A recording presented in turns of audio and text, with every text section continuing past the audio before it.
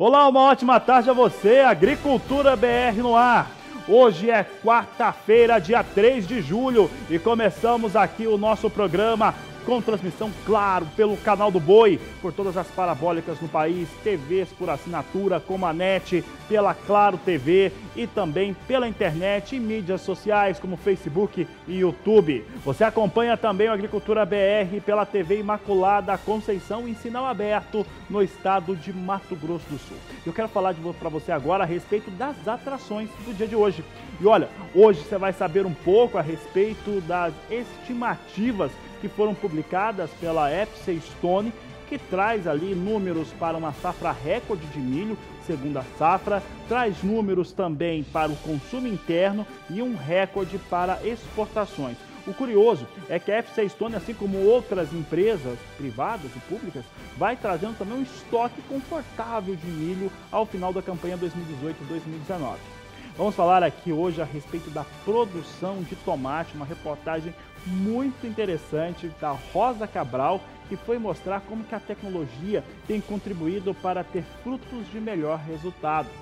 Olha, vamos falar sobre o mercado de soja. O mercado da soja está com bastante movimentação. Você vai saber como é que está o mercado físico nacional, mercado doméstico, mercado futuro em Chicago e o que tem impactado sobre os negócios. O Agricultura BR fala também sobre comercialização de etanol, o que tem acontecido com a comercialização.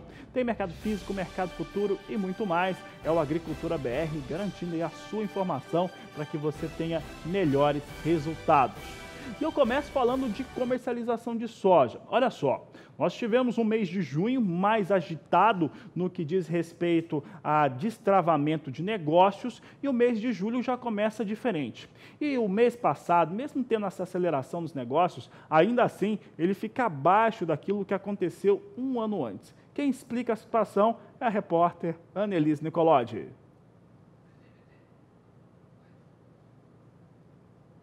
Negociações de soja registraram uma ligeira elevação nas últimas semanas, muito em função de um comportamento positivo nos preços. A comercialização da safra de soja 2018-2019 do Brasil alcançou 70% até 7 de junho, mas o índice ainda está abaixo dos 73% registrados no mesmo período da safra anterior. Nós tivemos um aumento de liquidez muito grande nessas últimas semanas, eu diria já mais de quatro, né, umas seis semanas para cá, nós tivemos uma intensificação da comercialização pela melhora dos preços. Lembramos que nós, vamos lembrar que nós estávamos com preço ali um pouco acima de 60 reais, dependendo da região, e agora a gente teve uma melhora substancial. Isso, isso agitou muito o mercado, agitou muito o mercado. Nós tivemos uma melhora substancial na comercialização. Agora, se nós olharmos o que nós temos agora em relação ao ano passado, eu acho que nós estamos, acho, nós não temos certeza ainda, porque tem muito dado para sair, mas uh, o que nós temos até agora indica que nós estamos um pouquinho abaixo do que tínhamos no ano passado. Sobre a nova safra, 14,5% da produção foi negociada até agora. O índice está acima dos 11,3% registrados em 2018 e também é maior que os 7% da média dos últimos cinco anos.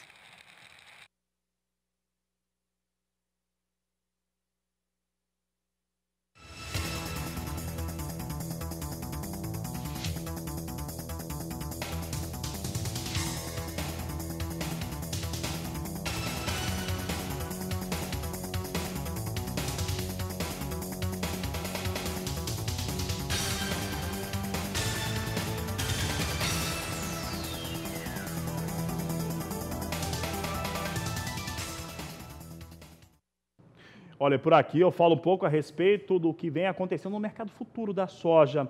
E olha, tem lembrado que eu tenho trazido números aqui, pelo menos desde o começo dessa semana, mais fracos para a oleaginosa operando na Bolsa de Chicago.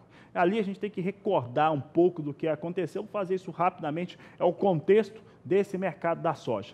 Eu começo para falar desse contexto com a sexta-feira passada, quando dois relatórios importantes confirmaram uma área para a soja na campanha 19-20 de pouco mais de 32 milhões de hectares, depois um relatório trimestral de estoques na posição do dia 1 de junho de 2019 com uma alta de 47% frente ao ano passado, mesmo assim abaixo do que o mercado acreditava. Isso motivou a soja em Chicago na sexta-feira que subiu. Entretanto, a melhora no fator climático com soja nos Estados Unidos entre outras situações, como, por exemplo, a realização por parte de investidores, jogou o preço da soja para baixo, bem para baixo, nessa última segunda e também nesta última terça-feira. As posições perdiam os seus pisos de 9 dólares por bushel. Mas toda vez que isso acontece, uma situação é óbvia. Mesmo que esse acordo comercial de China e Estados Unidos ainda longe de ser é, realmente né, ser efetivo. Toda vez que acontece isso, soja fica barato e aí muita gente aproveita para fazer negócio. Soja hoje subia principalmente por conta do preço mais baixo. Veja só que o preço sobe, mas é uma alta que ainda não devolve. Aliás, longe de devolver o piso de 9 dólares. A posição de julho é negociada a 8 dólares 81 centes mais 4 por bushel. Temos ainda 8 dólares 87 centes mais 2 por bushel na posição negociada em agosto.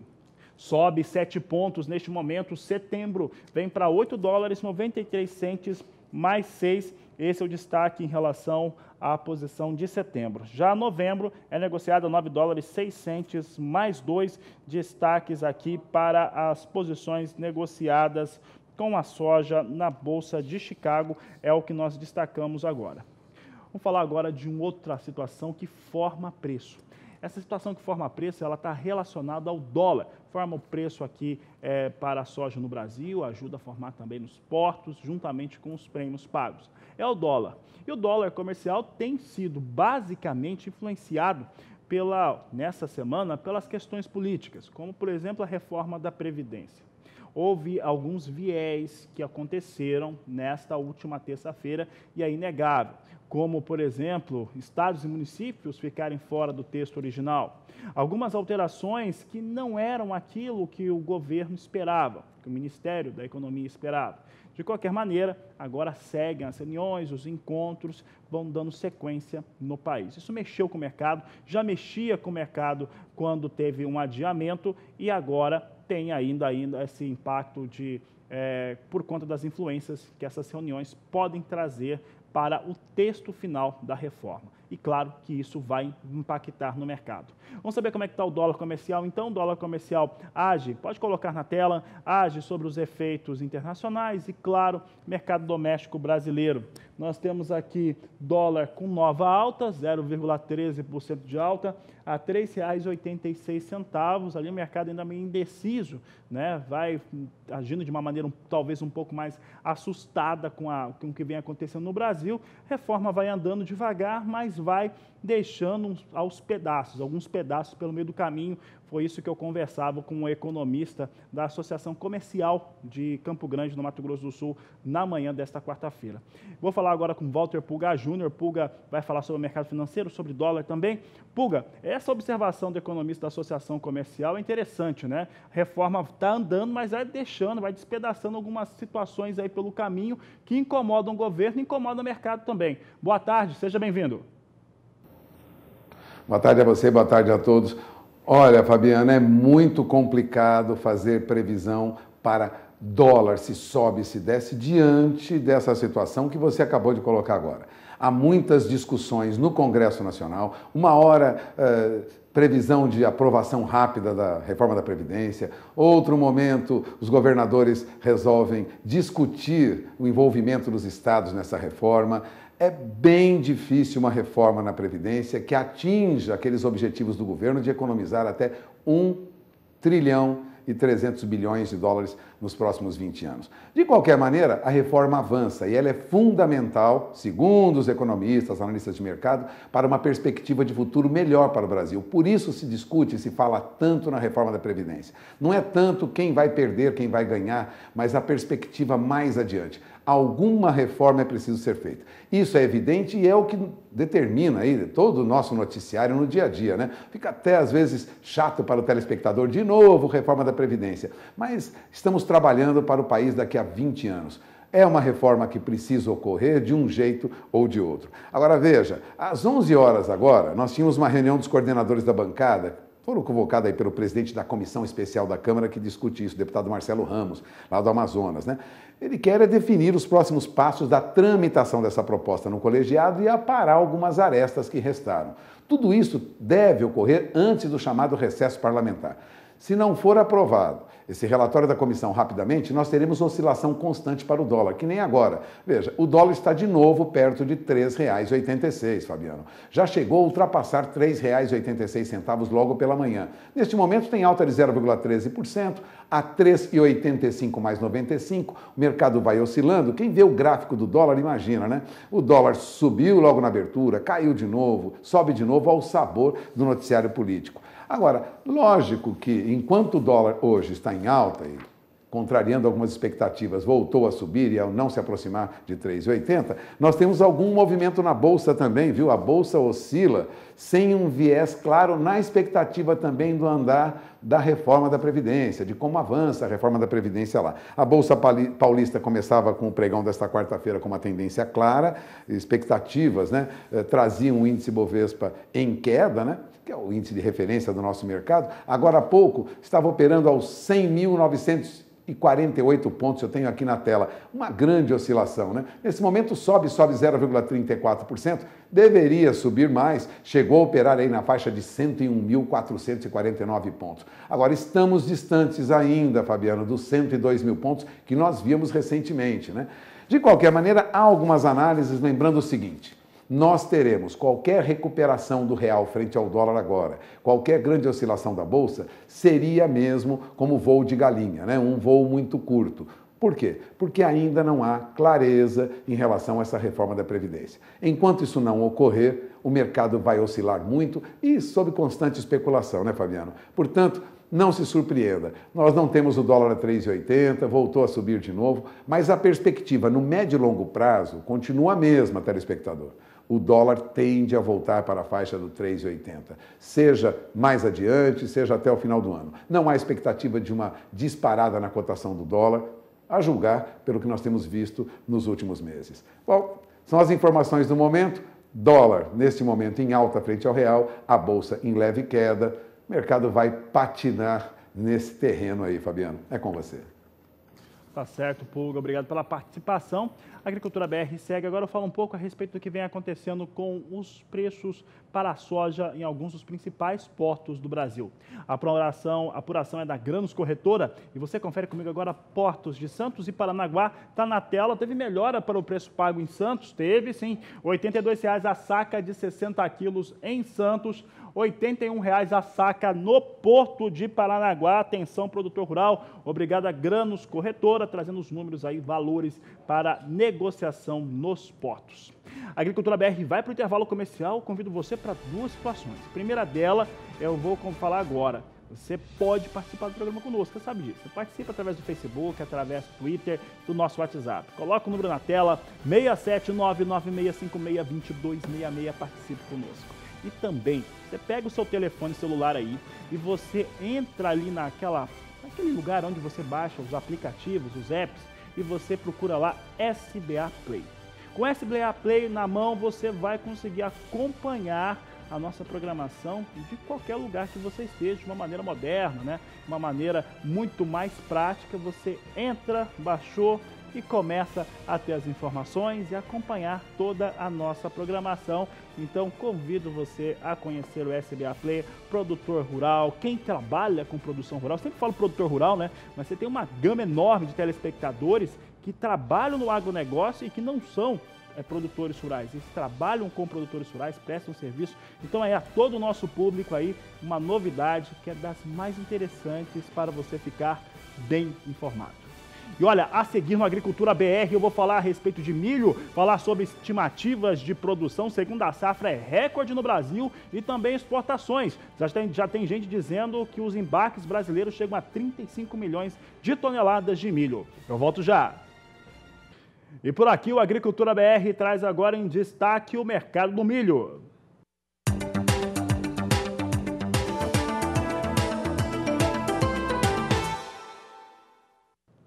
E para falar de mercado é necessário falar de fundamentos. E os fundamentos vão aparecendo e mostrando uma situação bem favorável ao produtor brasileiro neste momento, produtor rural de milho. Olha, por exemplo, um dos fatores que nós apontamos agora é o avanço da colheita do milho de segunda safra. Quanto mais se avança a colheita, principalmente no estado do Mato Grosso, mais evidente vai ficando uma produção recorde na segunda safra no Brasil. Uma segunda safra que deve ser uma das maiores da história, elevando a produção total do país a 99 milhões e 700 mil toneladas só no Mato Grosso 30 milhões e 500 mil toneladas, é o que garante a equipe da FC Stone. Mas vamos ver isso no gráfico? É o que eu trago agora em destaque para você. Você tem aqui três colunas que exibem um pouco do que deve ser a produção de milho no Brasil nessa campanha 2018-2019. Com a colheita da segunda safra de milho, nós nos aproximamos para essa situação. 99 milhões e 700 mil toneladas é a expectativa para a produção total, portanto, somando primeira e segunda safra.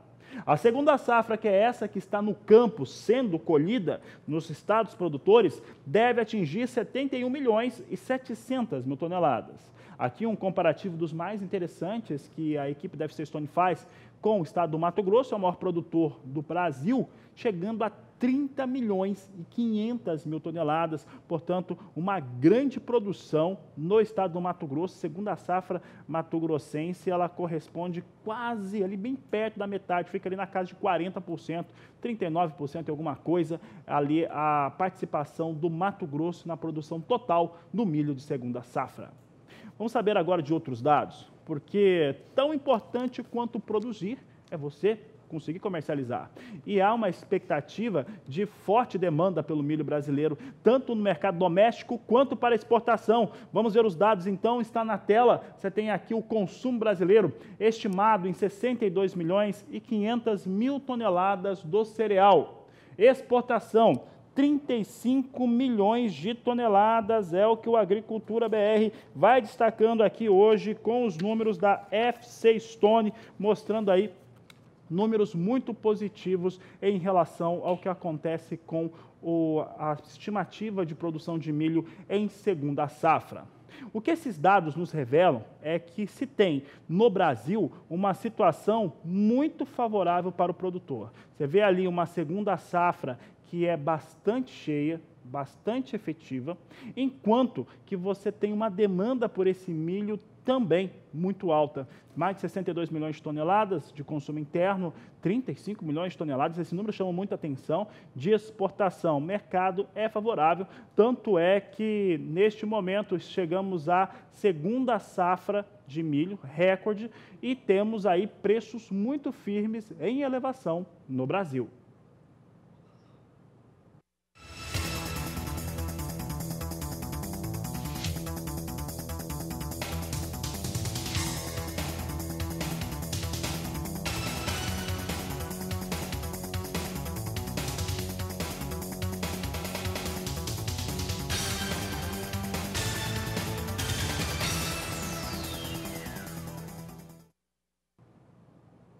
Vamos ver como é que está o milho no cenário internacional. Você tem aqui comigo dados do milho negociado na Bolsa de Chicago. Você acompanha aqui no Agricultura BR.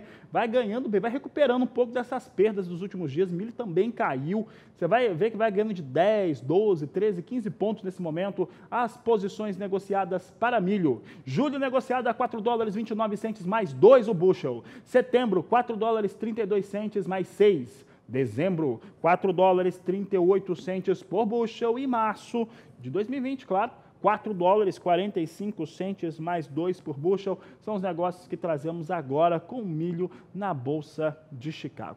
Essa, esse, essa referência do milho em Chicago é muito importante para os negócios nos Estados Unidos, isso é fato. Ela não tem tanto atrelamento com o preço do milho aqui no Brasil, mas como hoje um dos fundamentos que faz o milho ter uma melhor condição de preço é norte-americano, É uma expectativa de uma produção menor, de estoques menores é, para milho nos Estados Unidos, e isso faz com que possa afetar a produção de etanol por lá, que é toda baseada na produção de milho, de etanol à base de milho, não ao contrário, como quase disse, mas etanol à base de milho. Então você tem esse fundamento ajudando os preços aqui no Brasil, já que tem hoje um assédio muito forte sobre o milho brasileiro no cenário internacional, como nós mostrávamos nesta terça-feira, aqui nessa segunda edição, as exportações brasileiras de milho. O que eu vou fazer agora é mostrar o preço do milho no porto brasileiro, nos portos brasileiros, preço pago do milho. E os preços são muito interessantes. A apuração da Granos Corretora, você acompanha comigo aqui, milho no porto, Santos vindo a R$ reais a saca, Paranaguá também R$ reais a saca de 60 quilos. Números aqui para essa data de hoje, quarta-feira, 3 de julho, Granos Corretora nos fornecendo aqui os dados, os números é, em relação ao mercado do milho, portanto, milho vindo com valores muito firmes. Mercado doméstico brasileiro mantém valores é, estáveis em algumas praças em elevação, como você confere aqui nas cotações que são exibidas no Agricultura BR. Falei de milho, falei de etanol, e aí a gente vai aproveitar e falar de etanol, porque é um mercado também que pode ganhar e ganhar muito com o um acordo comercial, juntamente com açúcar, mas com o um acordo comercial entre União Europeia e Mercosul. Há expectativas, muita gente está comentando sobre esse assunto. Vou falar com Walter Puga Júnior agora. Puga, a verdade é que diversas associações que representam elos né, da produção rural brasileira se manifestaram muito felizes né, pela, pelo acordo comercial. Como é que pode beneficiar açúcar e etanol esse acordo entre os dois blocos econômicos, Pulga? Olha, no caso do açúcar e etanol, há expectativas de que as nossas exportações para o bloco europeu possam é, triplicar, né? Bom, a União da Indústria de Cana-de-Açúcar, a única, já manifestava, logo as primeiras horas após a assinatura desse, desse acordo com a União Europeia, que vale lembrar, precisa ainda ser referendado. Né? Há muito questionamento na Europa em relação a esse acordo, mas a princípio já está uh, em andamento.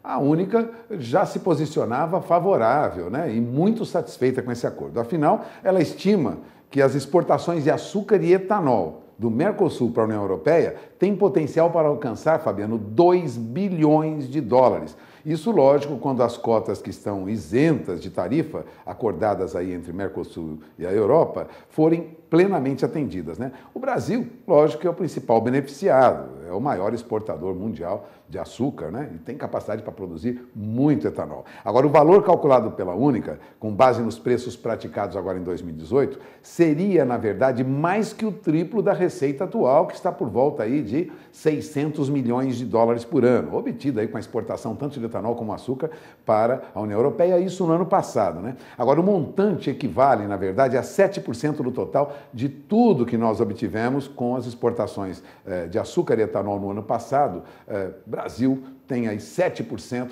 destinado a esse mercado. Pode triplicar e é uma boa notícia. Vale lembrar que, pelo acordo, a União Europeia deixará de cobrar aquele imposto de importação sobre uma cota de pelo menos 180 mil toneladas de açúcar por ano eh, de todo o Mercosul. Então, vai deixar de cobrar aí imposto sobre uma cota de 180 mil toneladas. Também foi criada uma cota isenta de imposto para 562 2 milhões, veja bem, 562 milhões de litros de etanol para uso industrial por ano. Para o etanol de uso combustível, foi criada uma cota aí de 250 milhões de litros, ou seja, também vamos vender etanol hidratado lá com tarifas, né? É, hidratado não, etanol próprio, né, para ser misturado em combustível, com tarifas que variam de acordo com o produto. Para o etanol que é usado para todos os fins, né, a tarifa será de 6 centavos, pouco mais de 6 centavos de euro por litro. E para o etanol, eh, com adição de substâncias para impedir o uso em bebidas, né, também impedido para usar em alimentos, produtos farmacêuticos, a tarifa será de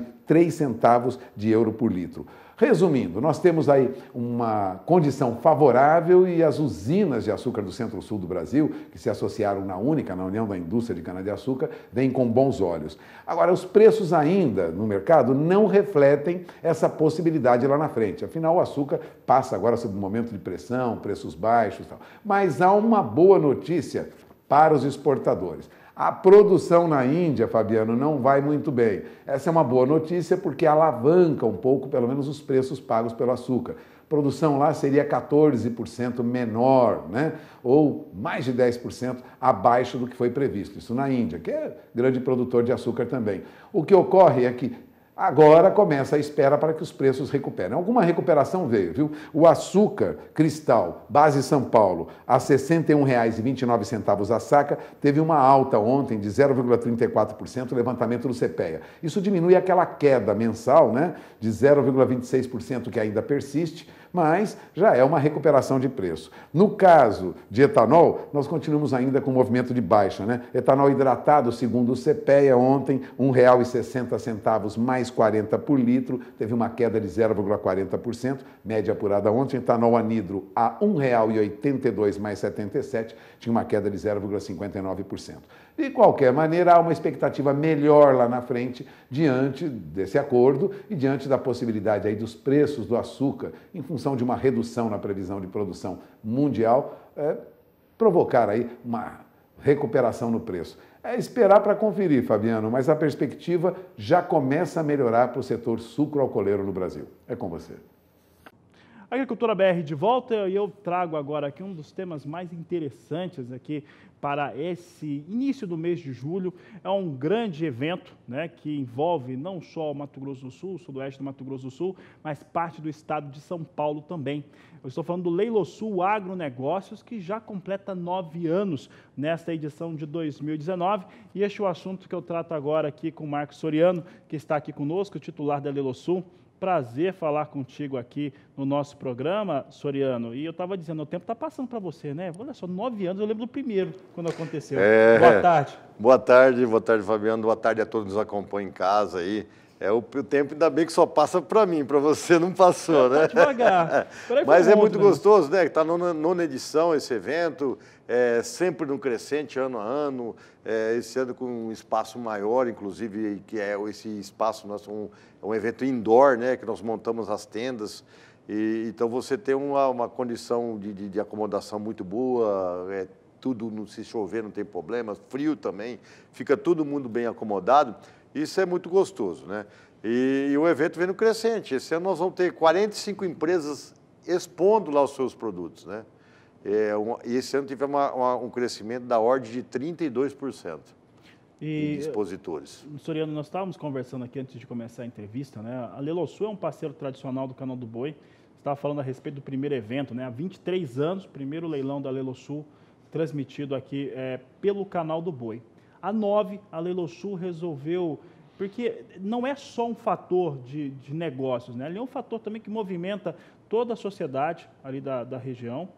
É, isso gera trabalho, gera renda. Ali tem uma ação social é, que não é explícita, que é muito importante de, de se comentar. Um belo dia você resolveu fazer uma espécie de feira de agronegócio na região. Não tinha essa, uma, uma feira como essa, né, Marcos Orião? É, não tem, né? Nesses modos aí é, é, um evento particular, não é nenhuma fundação, não é o Estado que faz, não é o município, é, é, é a Leilosul, no particular, nós tivemos essa ideia de realizar esse evento e levar informação ao produtor rural. Né? Não é só os negócios, né? nós temos uma, uma, uma, uma grande, é, um grande número de palestras, participações, e esse ano também temos uma, uma, uma, uma chamada diferente lá também. É, nós vamos ter um, um, o primeiro dia, o primeiro Lelosul Saúde. É um evento que no dia 12 nós estaremos realizando é, testes gratuitos à população de Bataguaçu. É, é, é, gratuitos de glicemia e pressão arterial, arterial, que é esse, esse evento aqui, junto com a Oeste Saúde, que é uma empresa lá de, de, de Presidente Venceslau e região, e Presidente Prudente, que está levando para você. Então, é, nós temos também um, um, uma preocupação no social, é, todo o evento ele é direcionado à parte de bar e, e atendimento lá, é direcionado pela, pela o abrigo de idosos lá de Bataguaçu beneficente também, onde arrecada um grande valor também. Então, é, é um evento é, que a gente quer fazer ser diferente, né? É, para ter o, cada ano evoluindo e ter uma, uma chamada melhor. Tá certo. Parabéns pela, pelo empreendimento, né? Já nove anos, mostra o sucesso e também a aceitação do público, né, que, que participa, que está junto com esse Leilão Sul Agronegócio. E agora eu quero falar um pouco a respeito do que vai acontecer. Estou até aqui com, com uma espécie de catálogo oficial do evento mostrando aqui um pouco do que vai acontecer. Nós temos aí já dia 8 entrada de animais, já começa a ter aquela movimentação. Dia 9 começa o evento mesmo. Gostaria que você falasse um pouco a respeito disso. Nós temos aqui uma abertura, a transmissão é pelo canal do Boi. Temos também aqui grandes eventos, grandes leilões, transmissão, claro, aqui também pelo canal do Boi, palestras. Como é que vai acontecer esse evento, Soriano? Então, nós, nós estamos realizando a abertura é, às 18 horas de Brasília, na terça-feira, agora dia 9, né? É, a abertura com transmissão pelo canal do Boi. À noite nós temos o primeiro leilão, que é o leilão só fêmeas, é, com transmissão pelo canal do Boi e vamos ter lá mais de mil fêmeas lá no recinto da Leilo Sul. Então você é nosso convidado, a capital do bezerro precoce, que é Bataguaçu, como o, o, o nosso amigo Daniel de Paula fala, esses animais estarão sendo comercializados, né? Então você tem uma oportunidade de, de, de, de fazer seu investimento lá em fêmeas, que é abrindo o evento, né? E na quarta-feira nós temos o leilão Calabilu, Canchim Calabilu, que é uma, uma oferta de 40 reprodutores é, Canchim da Fazenda Calabilu, é, que é do Dr. Luiz Schauer, que esses animais, inclusive, vão estar sendo comercializados e você poderá, estarão todos lá no recinto da Leilo Sul, com transmissão também pelo canal do Boi a partir Bonitos das 20 animais, horas. É, Muito canchim de alta qualidade, o melhor criatório nacional, avaliado é, é pela, pela, pela Embrapa BCZ, esses animais. É, são, todos fazem parte dos sumários. É, o, o seu Luiz Schauer preza muito em, no, na força de pressão, de avaliação. Esses animais canchins aí, canchim, que vão ser comercializados, você pode ter certeza, você está levando o que tem de melhor no país hoje na raça canchim. Na, na quinta-feira, no dia 11, a partir das 19 horas, horário especial, um mega leilão. São 160 reprodutores é, da mais alta qualidade da Fazenda Ouro Branco, que estará comercializando lá, com animais também com avaliação pela Embrapa, é, desculpa, pela NCP e pela, pela, é, é, é pela, pela BCZ. Animais com grande carga genética, animais de alto índice de avaliação. Ó, esses reprodutores é o que serão comercializados da Fazendas Ouro Branco. Todos os animais esses, o, o Fabiano, eles são é, e responsabilidade, e quem fez o cruzamento é o doutor Walter, doutor Walter da NCP, ele que direciona né, que, é os trabalhos da, da Fazenda Ouro Branco, com o seu titular, o, o, o doutor Wellington Negri, que ele que deu todas as coordenadas e disponibilizou. O doutor Walter, você faz o que tem de melhor. São então, 160 touros nesse leilão. 160 produtores. Qual que é a era desses touros, desse leilão 28 a 30 meses. 28 a 30 meses, olha, esses reprodutores, olha que temos uma oferta de, de mocho também nesse leilão, olha que torada fantástica, esses animais vão ser comercializados agora, no, na quinta-feira, com horário especial, 19 horas, horário de Brasília, né? São, são 90 lotes a serem comercializados. Vamos ter um mega lote também. É, vai ter assessoria do, dos irmãos Carvalho, aqui de, de, de Dourados. Aí de... É bom que dá dinamismo, né? Isso, o, isso o leilão andar é. Vou ter um mega lote com 15 animais também, frete facilitado é, para todo o país. Então, e condição especial também de, de parcelas também é, de pagamento. Né? E na, na sexta-feira, dia 12, nós temos abrindo às 8 horas da manhã, o Leilão Sul Saúde, junto com a Oeste Saúde, estará é, fazendo os, os, exames gratuitos à população de Bataguaçu. À tarde, nós temos palestras, e, do, e na parte à noite, a tradicional queima do alho lá, nosso comissário Buguelo, que ele faz lá, a, a comitiva dele faz a tradicional queima do alho lá, que é fantástica que eu convido você. Você eu poderia. Achando, eu, vou, eu falei agora nós, podíamos organizar. fazer o programa de sexta-feira de, de, lá. De lá. Vamos fazer de lá.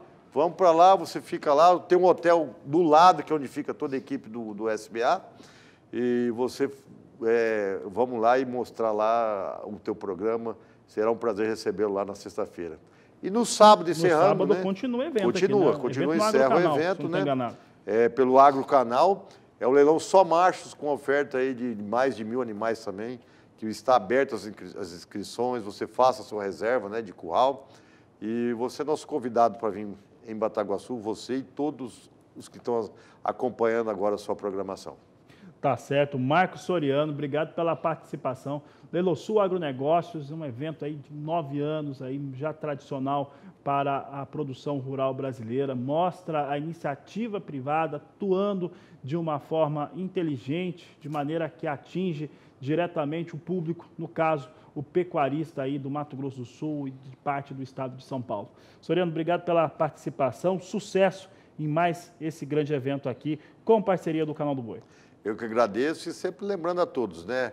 É, acesse o site da Lelosul, lelosul.com.br e você vai lá ter a, a, agenda total das palestras, que você palestra todas transmitidas também pelo SBA, na quarta, quinta e sexta-feira. Né? Então você acessa o site que você vai ver lá e será um prazer recebê-los lá no Lelosul Agronegócio.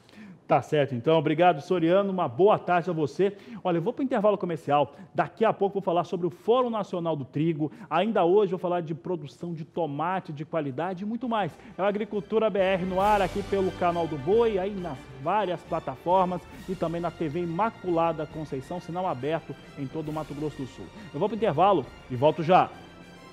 E olha, pesquisadores, estudantes, profissionais de mercado estão reunidos durante essa semana em Passo Fundo, no Rio Grande do Sul, para participarem do Fórum Nacional do Trigo e do Triticale. Estão debatendo diversos temas, tanto na pesquisa, no comércio, na produção e muito mais. Acompanhe o que está acontecendo por lá agora na reportagem de Annelise Nicolodi viabilidade, rendimento, rentabilidade e os desafios do trigo. Cláudio Cap Júnior, pesquisador da Fundação ABC, vocês pesquisaram durante 24 safras a cultura do trigo nos estados do Paraná e São Paulo. O que foi possível perceber, analisar nesse tempo? Veja, é, a gente tem um, realmente 24 safras, onde as cooperativas Castrolanda, Capal e Frisia é, monitoraram todos os produtores da, da, das suas cooperativas. Então, é, é um resultado mais prático do que científico, é o que eu mostrei hoje na palestra, tá? O que a gente mostra ali é que o trigo ele é uma opção em que ele vai trazer é, uma margem de contribuição positiva para o inverno. O produtor rural tem um desafio muito grande no inverno, porque é, dependendo daquilo que ele escolhe, ele vai ter só é, de, desembolso de caixa. Ele não vai ter uma contrapartida de receita.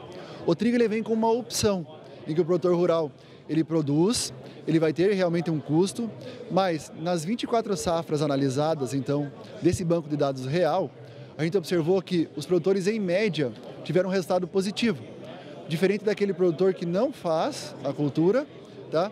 E ele tem um fluxo de caixa negativo, ou seja, tem uma margem de contribuição negativa. Então, o trigo, é, o, em resumo, o que, a gente, o que a gente mostrou hoje é que a gente não pode excluir ele diretamente de uma mesa de, de discussão. Tá? O trigo financeiramente ele é interessante, tá? agronomicamente ele também parece ser uma, uma, uma boa ferramenta para sustentabilidade do sistema. Então o produtor rural tem que pensar num prazo de pelo menos cinco anos qual que é o encaixe de culturas que ele vai fazer, tá? Ou seja, inverno e verão. E o trigo financeiramente ele ficou uma boa opção para esse quebra-cabeça que o agricultor tem, que é agronômico e que depois também é financeiro.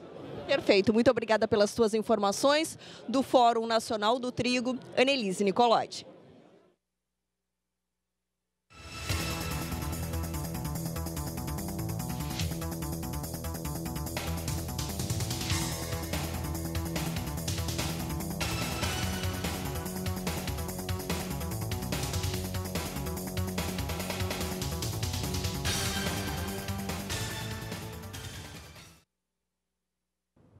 Agora nós vamos acompanhar uma reportagem que mostra a produção de tomate, de hortaliças, produtos de alta qualidade e que conseguem atingir o público e trazendo ali nichos de mercado muito importantes. A observação agora nessa reportagem de Rosa Cabral é como atingir e produzir os melhores frutos. A penca de tomates vistosa é de encher os olhos. A plantação é fruto da tradição ramificada desde 1975 na família Ravaiani, passada de pai para filho. César é a segunda geração. Aí continuamos seguindo, né? E dá para viver, dá para tranquilo, dá para tá desde 1975 tá, tá sobrevivendo no mercado, né? Eu planto Compact e planto Coronel. tanto mais compacto que coronel. Coronel eu planto mais na região de Itapeva. Agora, qual é a diferença das duas espécies? O compacto ele se adaptou melhor aqui na região de, de Mogi de Guaçu, né? E o coronel se adaptou melhor na região de Itapeva, por causa do crime. E qual é a espécie de tomate mais consumida pelo brasileiro? É o tomate redondo, que é esse tomate longa-vida que a gente planta. É o chamado salada? É o chamado salada. A plantação com 12 hectares a céu aberto é na região de Mogi Guaçu, no estado de São Paulo. A colheita é toda manual. Cerca de 60 trabalhadores atendem a demanda da produção, que chega a 1 milhão e 200 mil pés por ano. E a favor da produtividade, entra em campo a tecnologia. Especialistas no segmento da cultura prestam consultoria ao proprietário. O Wanderson Misael, especialista em desenvolvimento de mercado, é um conhecedor da cultura e nos ajuda a entender um pouco de como a tecnologia, um braço importante da agricultura, sustenta o desenvolvimento. A genética é um elo forte. Através da genética, a gente tem uma planta que apresenta esse alto vigor, né, com alto potencial de pegamento sequencial. E você vê aqui tomate da base até o ponteiro. Né, e aí é onde está o segredo da rentabilidade também do produtor. Aliado a isso, tem também a questão do manejo. Né? Um manejo aplicado, um manejo bem trabalhado, nutrição equilibrada e controle de doenças. Eles levam para o campo soluções integradas por meio de produtos que atendem a essa fatia da agricultura exposta às questões climáticas e sensíveis às pragas.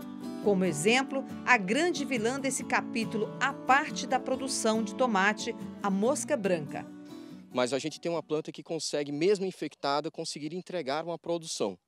Se a gente associa essa característica com um portfólio de manejo para quebrar o ciclo da mosca branca, não agindo apenas sobre o inseto adulto, mas quebrando o ciclo, são mais ferramentas que o produtor tem para fazer a, a, o controle dessa praga e dessa doença que é o geminivírus. Então, o, o grande desafio é fazer com que a adaptabilidade genética dos materiais que a gente tem desenvolvido e que a, o programa de melhoramento tem focado no Brasil para cada região. Então, hoje, por exemplo, com o tomate coronel, que é um lançamento de dois anos atrás, a gente conseguiu encontrar uma janela que traz segurança para o produtor na região da Biozona Sul, que a gente considera do Espírito Santo até o Rio Grande do Sul. Mas mesmo assim, esse material ele tem expandido para outras regiões, porque o produtor vê que ele dá essa segurança. Então, para nós, tem o nosso lado que a gente trabalha desenvolvendo materiais focados no problema do produtor, enxergando com olhos de produtor. A gente não enxerga o produtor como sendo o ponto final que a gente quer. Não, a gente quer entender qual é a necessidade dele. A empresa que atende o tomateiro do César desenvolve as pesquisas voltadas para o Brasil na Espanha. O programa de melhoramento genético encaminha de 800 a 1.000 sementes diferentes. A engenheira agrônoma Thaisa Vendalzen faz a seleção que vai brotar no campo. Um dos desafios é selecionar híbridos que tenham o vigor do terço da planta para cima. A gente precisa com plantas que tenham vigor para cima, para que o fruto consiga encher, consiga, que consiga ficar num calibre que seja interessante para o mercado, uhum. sabe? Uhum. Porque pensa que a roça ele vai continuar, ele vai, ele começa a colher, colhe, colhe os frutos ali de, de baixo, né, que são os frutos que são os frutos naturalmente maiores. Só que ele não pensa que ele vai colher um tomate desse aqui embaixo e de repente ele vai ele não pode colher um desse aqui em cima, uhum, né? Uhum. Claro que isso aqui é, é, isso vai acontecer, mas assim de uma forma geral a gente espera que o tomate não perca tanto calibre para cima. Por isso que a gente precisa selecionar híbridos que tenham um vigor de planta, é, que tenham um vigor de planta é, tal para que esse fruto seja capaz de, de encher. E um detalhe que a genética de laboratório imprime é a firmeza no fruto. Por exemplo, um tomate bastante firme. firme. Ele é muito firme. Ó, ele é aperta muito ele. Tomate pode ser perfeito. Ah. Pode ser linda. Planta, vigorosa, cobertura foliar. Se não for firme, a gente descarta. É, a gente tem que pensar na logística e na comercialização desse tomate, no valor desse tomate. E não é para menos. O caminho a ser percorrido, pelo menos do tomateiro do César, é longo. Vai bastante para Serra Gaúcha e para Florianópolis e Curitiba. e um pouco da demanda vai para São Paulo.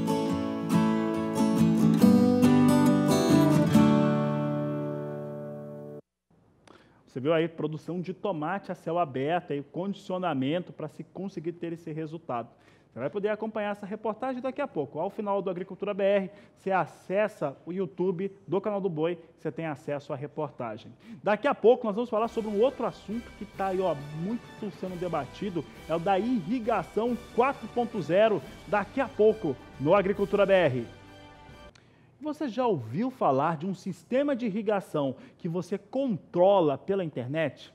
Pois é, é o chamado irrigação 4.0 que você vai conhecer agora nessa entrevista realizada por Walter Pulga Júnior, que mostra um pouco de como que tem funcionado esse tipo de equipamento. Guilherme, obrigado por ter vindo. Vamos falar um pouco sobre irrigação, que é o assunto que a sua empresa conhece bem. O que é essa irrigação mais avançada, a irrigação 4.0? Bom, é, a irrigação ela tem se modernizado ao longo dos anos em busca de eficiência. Então, os veículos capazes de levar a água ao campo de forma precisa, eles já vêm se desenvolvendo e hoje estão num nível muito interessante. O que nós trouxemos que leva a nossa empresa para um patamar de, de agricultura 4.0 e que diz respeito à internet das coisas é exatamente o monitoramento dos cultivos já irrigados, ou seja, o piloto dessa irrigação muito eficiente. Então, através de informações vindas de satélites e de rede de dados climáticos, o agricultor pode, em qualquer lugar do mundo, tomar decisões a tempo real da sua propriedade, estando lá ou não. Você tem produtos, a Rivolis tem produtos para oferecer no Brasil com esse monitoramento. Mas como é que é feito isso? Mede a umidade do solo? Como é esse processamento? Bom, é, o foco sempre foi, sempre será a planta né? porque na verdade o, o, o, alimento, o produto sai da planta e não do solo. O solo é o veículo é, condutor de água e nutrientes para a planta gerar o produto. E agora nós monitoramos o produto e monitoramos sem nenhum dispositivo. Não existe a necessidade de colocar nenhum sensor, nenhuma estação meteorológica, porque tudo isso é feito através dos satélites com imagens multispectrais e algumas dessas imagens nos dão informações muito específicas, como sensor, é, temperatura infravermelha, entre outras, capaz de sentir a necessidade da planta em água, em uma precisão de até 10 metros quadrados. Ou seja, a diferença de 10 metros quadrados, se uma, uma, uma área está melhor ou pior, é fácil identificar. Ele consegue dar duas recomendações. Em um terreno, é, vamos imaginar que não, não é muito incomum, nós temos uma área mais arenosa, na, na, no nosso terreno de plantio.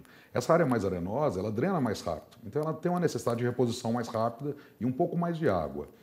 Isso hoje é possível ser monitorado e, e recolocado a água é, devolvida para o sistema de, de, cultivo de uma forma muito mais precisa. Né? Bom, essa tecnologia aliás, como boa parte das tecnologias desenvolvidas no mundo, vem de Israel, país que se dedica muito ao estudo da irrigação. Afinal de contas, a necessidade faz o homem e lá foram desenvolvidos sistemas. Esse sistema é israelense, não? É, foi desenvolvido em Israel. É através dessa empresa que chama Mana, que é uma, é uma empresa que faz parte do grupo Rivolis, né? Todos, todas elas israelenses, e ela, ela conta com algumas tecnologias, não, não todas israelenses. Na verdade, Israel é, agregou tecnologias dos países, da Finlândia, é, tecnologias americanas e promoveu essa, esse sistema de informação que é altamente. Eu, eu gosto de falar que ele provoca uma independência do homem do campo. Né? Ele tira o homem de uma escravidão, da necessidade de o homem estar lá para tomar decisões é, por causa da observação. Tem aquele ditado, né, o olho do dono que engorda o gado. Agora não mais. Agora ele pode se ausentar porque a tomada de decisão ele pode tomar ela de qualquer lugar do planeta que ele estiver. A informação vem até ele. A informação vem até ele. Bom, mas vamos falar que esse, esse produto, esse software, esses controles exigem um certo preparo. É para quem já está trabalhando com irrigação, né?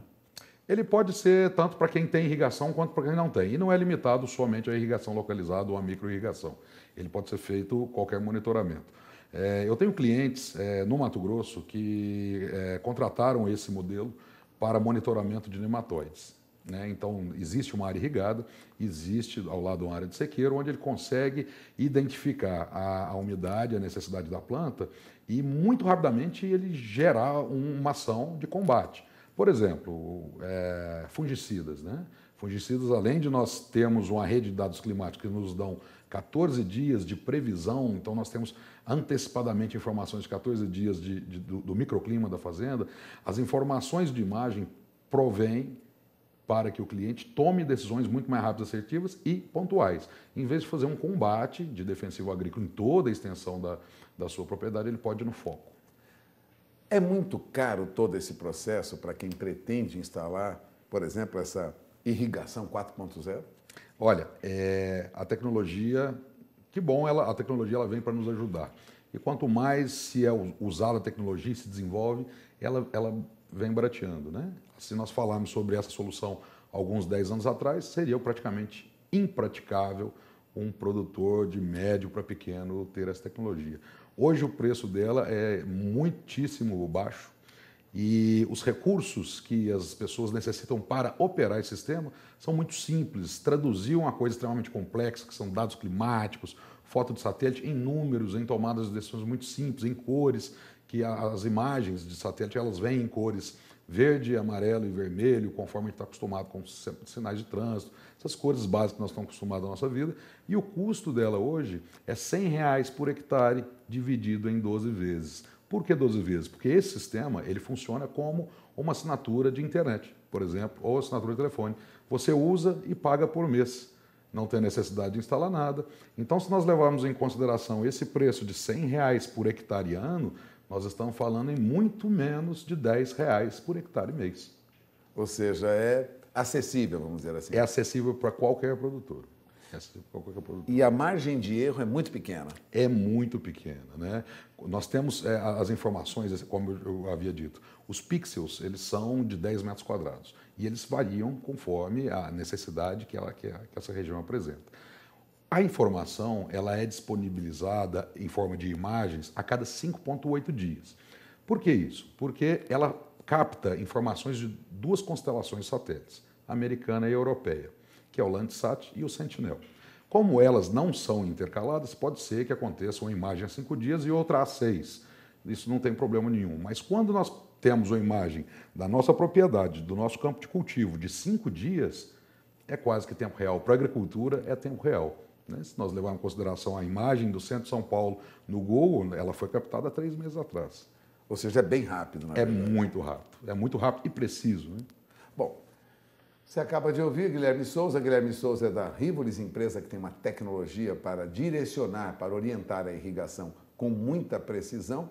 Tecnologia israelense, viável, como diz Guilherme Souza, até para médios produtores e pequenos produtores. Agradeço mais uma vez a sua presença aqui conosco. Voltamos ao programa Campo Grande. O ministro da Ciência e Tecnologia, Marcos Pontes, apresentou à bancada ruralista um projeto para melhorar a internet na zona rural. É o que você acompanha agora na reportagem de Saulo Lopes. O ministro da Ciência e Tecnologia, Marcos Pontes, foi à frente parlamentar da Agricultura para apresentar um projeto de conectividade no campo.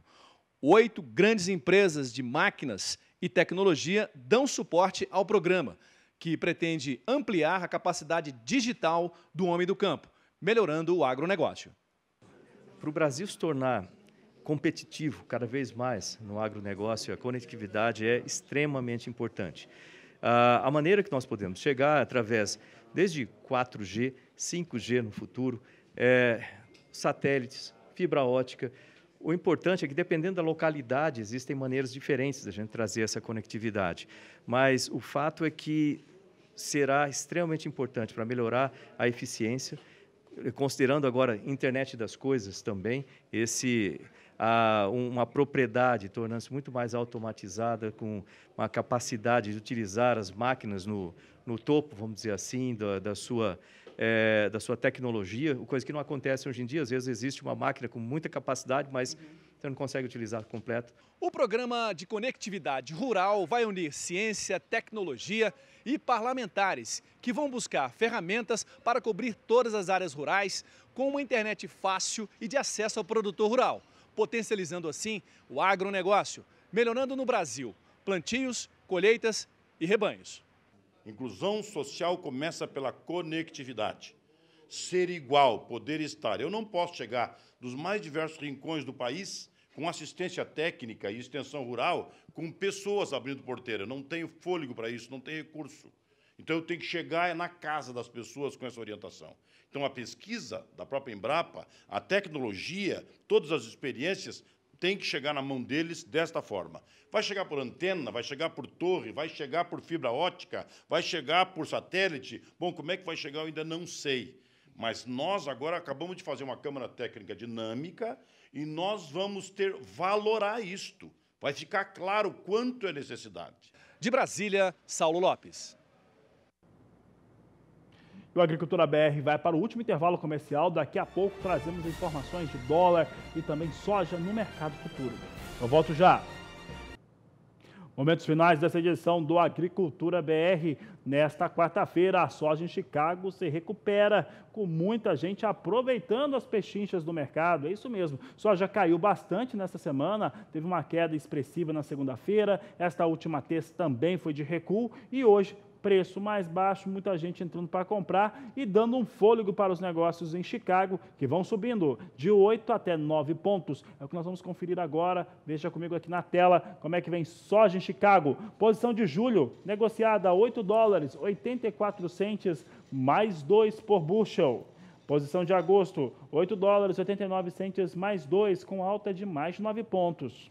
A posição de setembro é negociada agora a 8 dólares 95 centes mais 4 e novembro 9 dólares 8 centes mais 2 por bushel. São os negócios agora do momento com soja na Bolsa de Chicago. Um outro elemento importante para você observar, principalmente o sojicultor, Fica de olho na soja de Chicago, fica de olho no prêmio no Porto e também no dólar. O dólar que estava ali numa trajetória de queda, semana está sendo um pouco mais nervosa por conta dos trâmites em relação à aprovação da reforma da Previdência e as suas observações na Câmara dos Deputados têm passado, mas com muita observação no texto original. Isso tem deixado o mercado, de um certo modo, um tanto nervoso.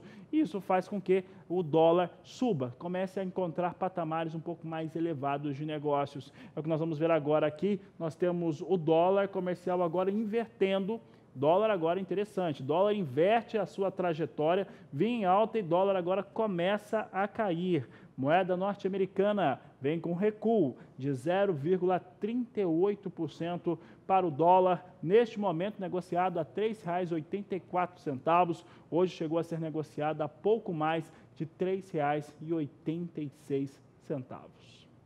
Olha, essa edição da Agricultura BR vai chegando ao fim. Eu lembro que nós retornamos, retornamos logo mais às 17 horas e 20 minutos, trazendo fechamento de mercado e outros destaques e informações aqui no nosso programa. Uma situação que é bem interessante para você é participar do programa, mande a sua informação, a sua foto, vídeo para o Agricultura BR no Facebook, no Twitter ou ainda no nosso WhatsApp. O telefone vai aparecendo aí na sua tela. Com essas informações, essa edição fica por aqui. Eu retorno logo mais, 17h20. Este é o Agricultura BR, a inteligência e a transparência do agronegócio, sempre com você. A todos uma ótima tarde e até mais.